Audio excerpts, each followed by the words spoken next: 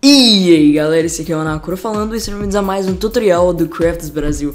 Hoje eu tô aqui pra mostrar pra vocês um sistema de reequipamento depois da morte. Então, como é que isso funciona? Bem, muitos de vocês já sabem que quando você coloca armadura dentro de um dispenser Ele coloca no seu corpo. Então, você pode ver que eu coloquei minhas calças ali, simplesmente pisando na pressure plate. Porém, quando você tem um dropper e tenta fazer a mesma coisa o item simplesmente vai para sua mão porque existe a diferença entre os dispensers e os droppers. Então, dizendo isso, a gente pode utilizar esse esqueminha aqui só para colocar uma armadura básica.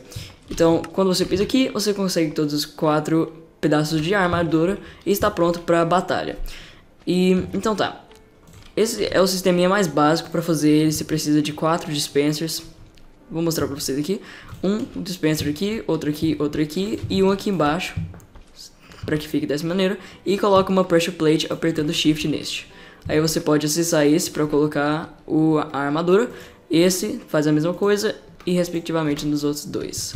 Então tá, é bem simplesinho esse sistema, nem, precisa, nem precisava de tutorial direito. E também temos esse, que é quando você morre, você nasce aqui do lado. Então, por exemplo, vamos dormir e fingir que a gente nasceu, né, depois de morrer.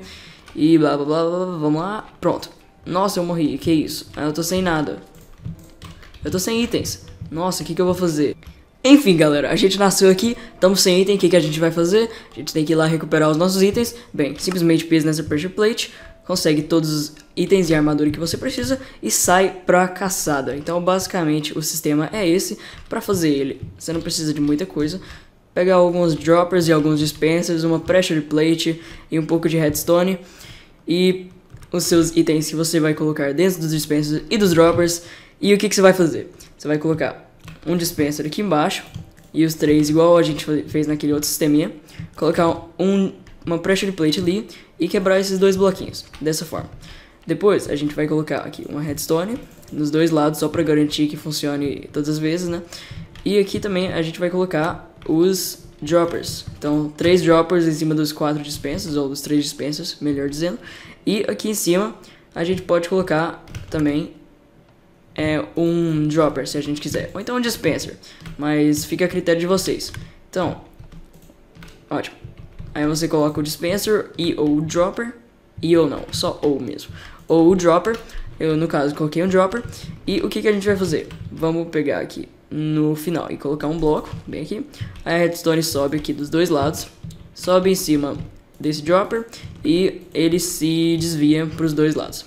Ok. Então, agora já está pronto sua máquina. Somente falta você reabastecer os dispensers. E então, vamos fazer isso agora. Colocar todos os itens nos seus lugares. Aqui eu gosto de colocar uma... É. Aqui eu gosto de colocar a shovel, aqui a picareta e aqui a espada. Porque ele vai espada primeiro, depois picareta, depois é, pá. E a armadura vai nos locais certos. E aqui vocês podem colocar o que vocês quiserem.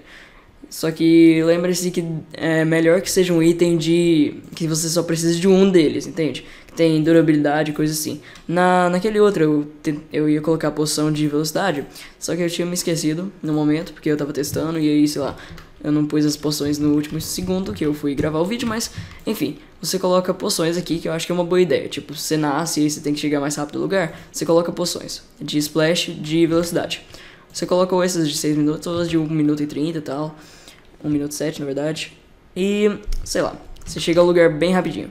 Então, essa é a minha recomendação a vocês, galera. Coloquem desta forma, porque eu acho que dá mais certo, sei lá. Então, vamos ver se funciona. Ok. Então, pelo visto, porque eu coloquei um dropper aqui, ele simplesmente me deu a poção. Aí, vamos ver se a gente faz uma coisinha mais bonitinha aqui, ó.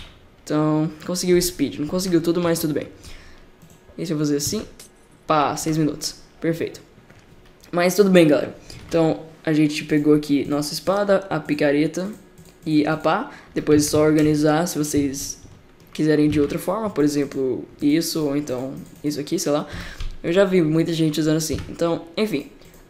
Esse é o tutorial que eu queria trazer para vocês hoje. É um tutorial bem simplesinho e rápido, só que é de bastante utilidade e eu vou fazer lá no meu Let's Play, ou seja, no, no Nostalgia.